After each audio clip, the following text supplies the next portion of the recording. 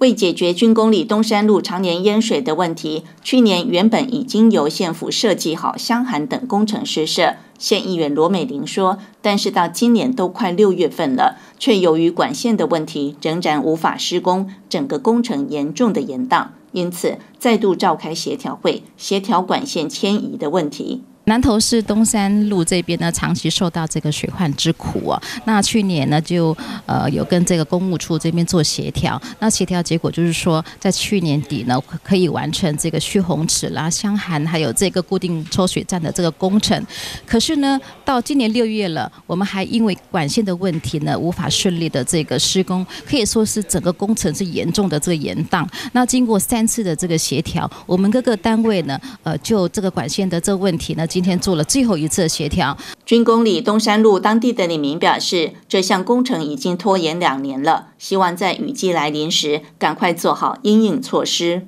军工里东山路的那个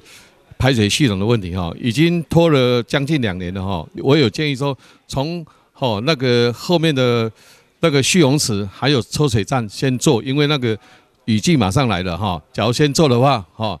那可能一个月可以做好。万一雨季来的话，马上可以好用得到，好就可以马上将积水的部分抽抽到外面的河床，好那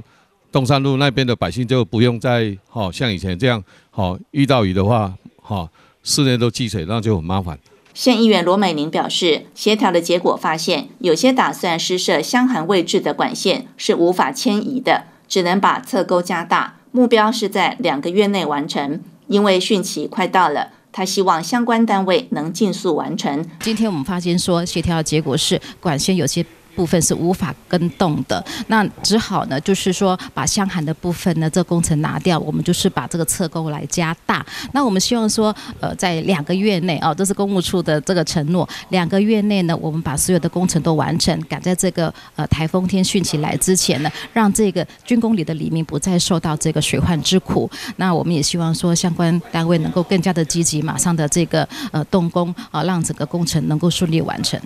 这场军工里东山路管线协调会在县府会议室召开，县议员罗美玲表示，汛期就快到了，希望县府能依照协调结果，尽速在两个月内完成，让东山路两侧的住户免于水患之苦。记者王水仙南投市采访报道。